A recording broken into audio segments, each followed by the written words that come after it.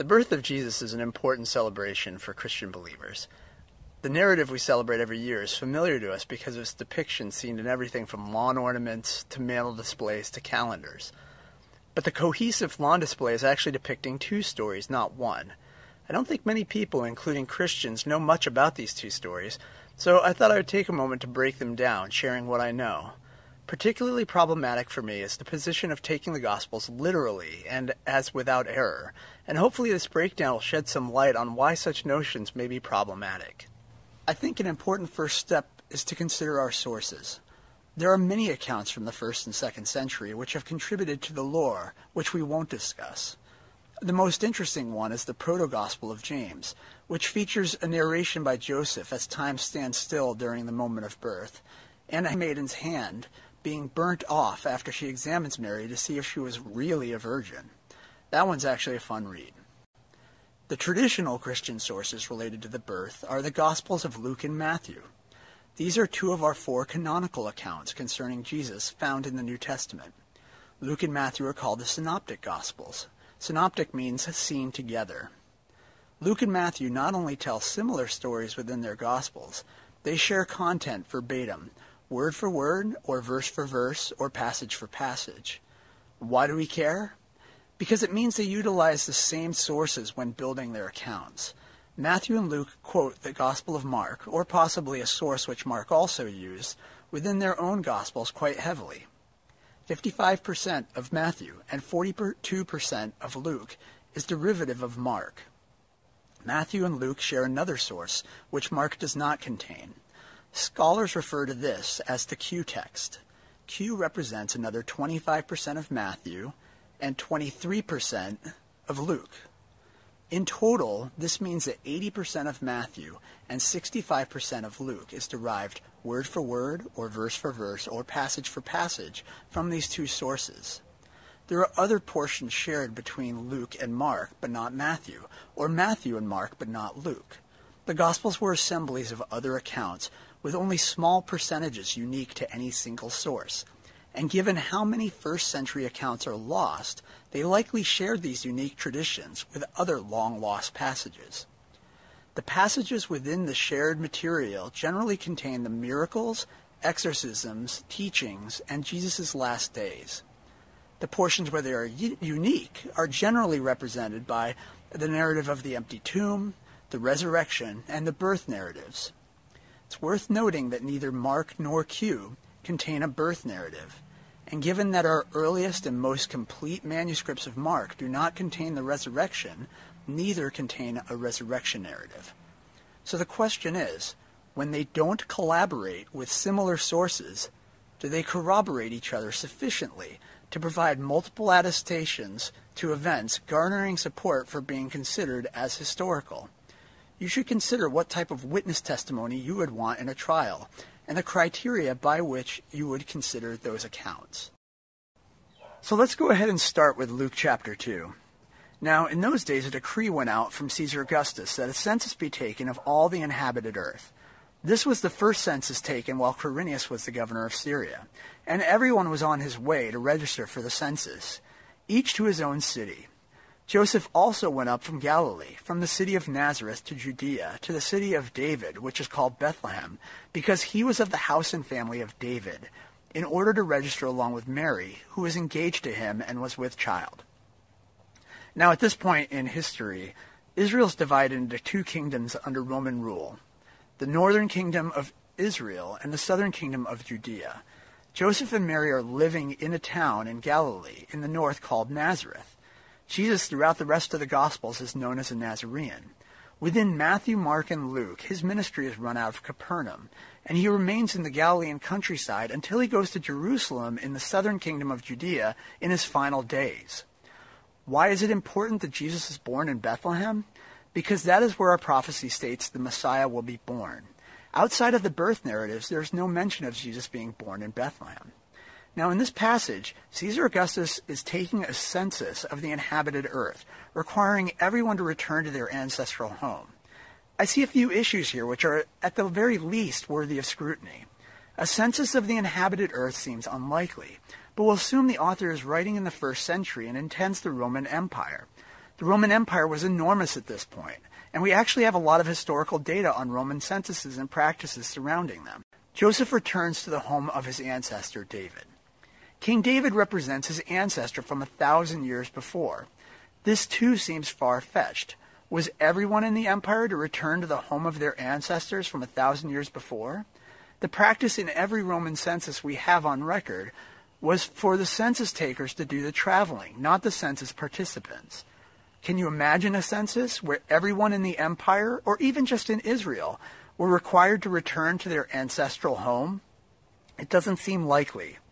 The last issue is a historical one. We have good records for Quirinius' first census, and it occurred in 6 AD. We know this because Quirinius became the governor of Syria following the exile of Herod Archelaus, and a census was taken which spawned an uprising by Judas of Galilee. Josephus records the census as an accounting of the money and property following Archelaus's exile. So why is it why is a date of 6 AD problematic? In Matthew chapter 2, Jesus is born before the death of Herod the Great, whom we know died in 4 BC.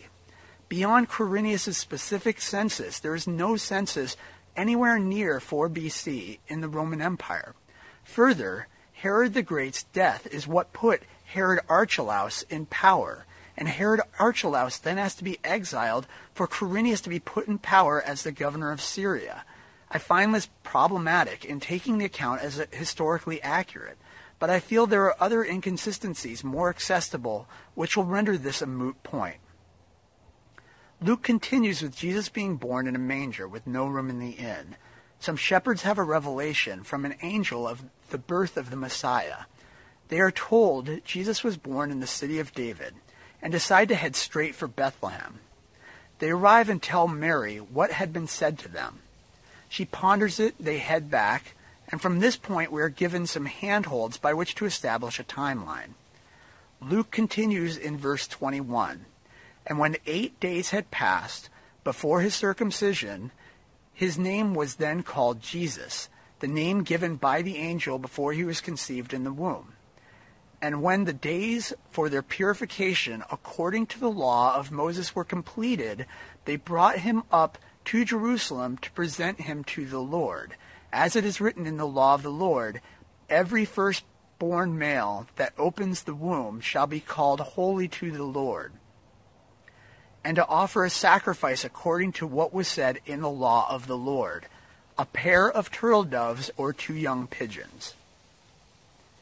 Now, the laws regarding childbirth are laid out clearly in Leviticus chapter 12, and fortunately, they are very specific.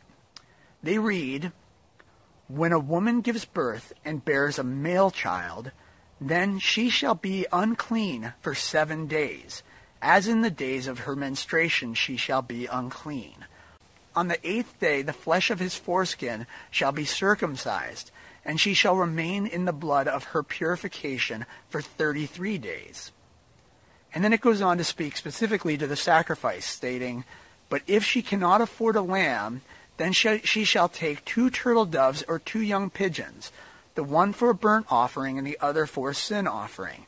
And the priest shall make atonement for her, and she will be clean. Now, Luke, this would mean there are 40 days between Jesus' birth and the sacrifice at the temple in Jerusalem. Joseph sacrifices two doves, showing their lower stature.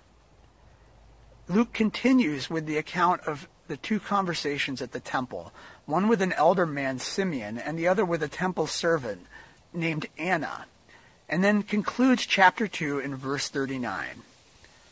When they had performed everything according to the law of the Lord, they returned to Galilee, to their own city of Nazareth. To reiterate Luke's account, Joseph and Mary travel to Bethlehem from Nazareth because of a census.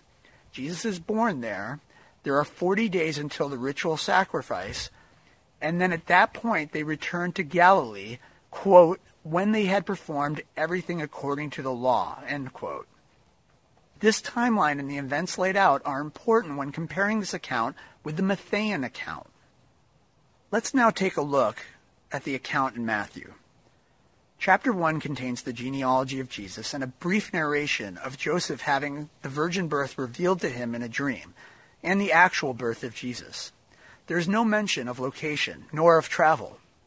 Matthew chapter 2 begins with Now after Jesus was born in Bethlehem of Judea in the days of Herod the king. I want to stop there and make note of a few things. Nazareth is not mentioned, and our story begins in Bethlehem. This will be something I'll want to touch on later, so just make a mental note. This verse also makes note of Herod the king. Herod the Great plays a significant role in this narrative. He is not to be confused with his sons, Herod Archelaus or Herod Antipas. Herod the Great is the client king over both the northern and southern kingdoms, and upon his death, they're divided by the Romans amongst his three sons, Philip being the third. The reason this is important is because Luke dates his narrative to the governorship and census of Quirinius, who is installed upon the exile of Herod's son, Herod Archelaus, in 6 AD. Herod the Great dies in 4 BC, a difference of 10 years. If Matthew says that Jesus' birth was in the days of King Herod and features him as a main character after the birth, and in Luke, the census of Quirinius, which we know from the histories of Josephus, is ongoing before Jesus' birth, then they both can't be right. This is far and away the dominant view among historians. Considering we are not historians, let's consider this claim of Luke being provisionally plausible while evaluating the rest of the text. I find it compelling, but I think we will find it's a moot point. Matthew goes on to say, Magi from the east arrived in Jerusalem, saying, Where is he who has been born King of the Jews. For we saw his star in the east, and we have come to worship him. When Herod the king heard this, he was troubled, and all of Jerusalem with him. Gathering all the chief priests and scribes of the people, he inquired of them where the Messiah was to be born. Then they cite the prophecy, and Matthew continues. Then Herod secretly called the Magi and determined from them the exact time the star appeared. And he sent them to Bethlehem and said, Go and search carefully for the child, and when you have found him, report to me, so that I too may come and worship him. Just because I think people blur them together, I think I want to make a note that the Magi in Matthew are different from the shepherds in Luke. It's not a big deal, but I think people tend to conflate them. The Magi come asking where the King of the Jews has been born, saying they saw a star. In the portion of this story, uh, Herod and all of Jerusalem are troubled by these Magi coming to ask, Where is he who has been born King of the Jews? Magi from another country show up looking for a king of the Jews, and all of Jerusalem is concerned. Herod is concerned to a point where he gathers all of his priests and scribes to ask where. I think this story mirrors one of the themes found in the Matthew's gospel. The Gentile magi from the east travel to Jerusalem to worship the king of the Jews. And the Jewish king Herod and all of Jerusalem are troubled by the news of a Messiah being born. I think this foreshadows the rejection of Jesus by the Jewish people and the adoption by the Gentile non Jewish believers. The passage continues After hearing the king, they went on their way, and the star, which they had seen in the east, went on before them until it came and stood over the place where the child was. When they saw the star, they rejoiced exceedingly with great joy. After coming into the house, they saw the child in this passage, they were in the east and saw a star and headed west to Jerusalem. And upon hearing Herod, they went on their way, following the star to Bethlehem. Bethlehem is six miles from Jerusalem. Why would King Herod, gravely concerned about the birth of the King of the Jews, not take more action if it's to the south six miles to Bethlehem? Further, if all of Jerusalem is troubled by this, Where's the corresponding response? We will see that Herod is willing to take extreme action to prevent this. In regards to the star, I'm not looking to argue over miracles, but I have a few observations. Bethlehem is exactly due south of Jerusalem. If you are following a star in the west coming from the east, and happen upon Jerusalem, you would not be following the same star going from there to Bethlehem. Going from Jerusalem to Bethlehem is due south. As well, the star goes on before them until it comes and stands over a house where the child was born. One simply has to imagine what it would be like to walk towards a given star for six miles, to see the problem in it leading someplace as specific as an inn. The passage continues with the Magi being warned in a dream not to return to Herod, an angel appearing telling Joseph to, to flee to Egypt, with Joseph leaving that very night, and Joseph remaining there until the death of Herod, which fulfilled the prophecy. Herod sees he has been tricked by the Magi and commands that all male children in the vicinity that are two years old and younger be slain, quote, according to the time which he had determined from the Magi, This too was to fulfill prophecy. The account finishes in verse 19. But when Herod died, behold, an angel of the Lord appeared in a dream to Joseph in Egypt and said, Get up, take the child and his mother, and go into the land of Israel, for those who sought the child's life are dead. So Joseph got up and took the child and his mother and came into the land of Israel. Given what we have read in Luke concerning the forty days for the circumcision and the rites of purification in Jerusalem, with a statement that when the rites were fulfilled, they returned to Nazareth, I find the flight to Egypt in Matthew not to fit the timeline for Luke, and as we shall see, the geographic depictions mirror this. Luke would have omitted a story not only with major implications and interest, but with prophetic value. There is no mention of Herod, of lives at being at risk, or of a flight to Egypt with death sentences to all children under the age of two. Despite having a thorough record of Herod's atrocities, there is no such record in any of the histories. Now, it is conservatively a hundred miles to Egypt as the crow flies, involving both a newborn and a recovering mother. The family is then said to wait there until the death of Herod. That would constitute a trip of 200 to 300 miles by first century travel, with added time for the period to Herod's death. That would seem to prohibit inserting this flight before the purification of rites in Jerusalem in that 40 day window that would mean that the family would have had to go after the rites of purification. But there are a few problems with this. In Luke's gospel, it says, once they fulfilled all the law required of them in Jerusalem at the temple, that they went back to Nazareth, and makes no mention of a major trip to Egypt, nor of a trip to Bethlehem. Again, not having mentioned anything regarding a threat to their lives, nor a mention of Herod the Great.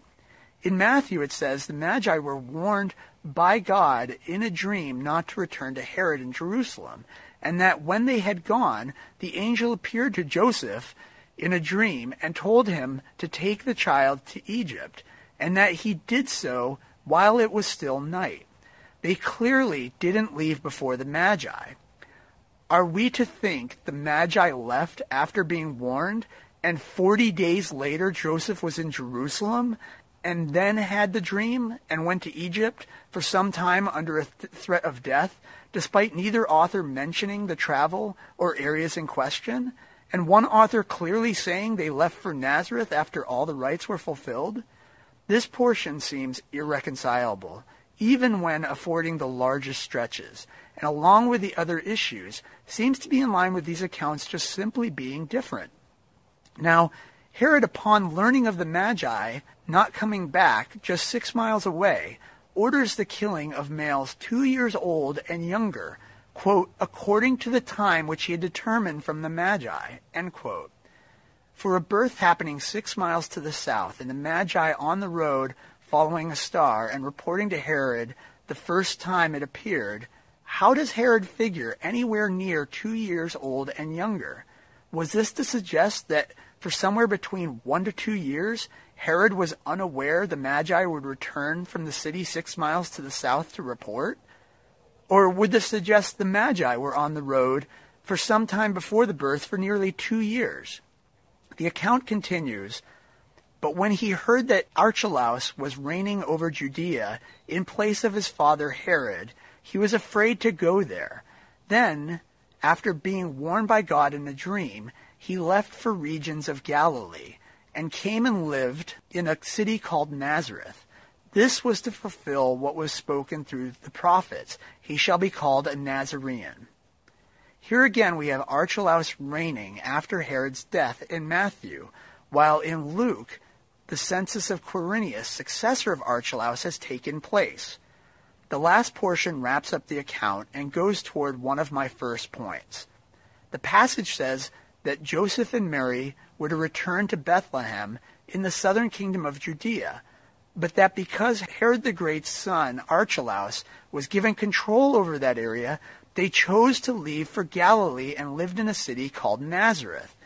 The author placed Joseph and Mary's residence as Bethlehem, and that once they are afraid for their lives, they chose to live in Nazareth of Galilee. This is in contrast to Luke, where they lived in, in Nazareth and go to Bethlehem due to a census, and then return to Nazareth after a trip to Jerusalem. In summary, outside of Joseph and Mary having a child named Jesus in Bethlehem and eventually residing in Nazareth, the two accounts are different in almost every respect. In Luke, you have a massive census under Quirinius, a trip from Nazareth to Bethlehem, a birth in a manger with shepherds in attendance, a following of the law and a sacrifice in Jerusalem, and a return to Nazareth. In Matthew, you have a birth with no mention of an inner manger in Bethlehem, a visit- visitation by Magi, a threat, a death threat from the King Herod within the context of a massacre of children, a flight to Egypt, and a waiting for the king to die, and a return avoiding life in Judea and heading to Nazareth. Given the synoptic nature of the Gospels, I think these are by far best explained as being two very different traditions which seek to place Jesus in Bethlehem at the time of his birth. I would encourage anyone to open their Bibles and compare the birth narratives side by side themselves. I find the harmonizations neuter each of the authors and that the text is richer when you're able to take it for what it is rather than imposing theological necessity on it. I appreciate you watching this and hopefully you got something out of it. Thank you.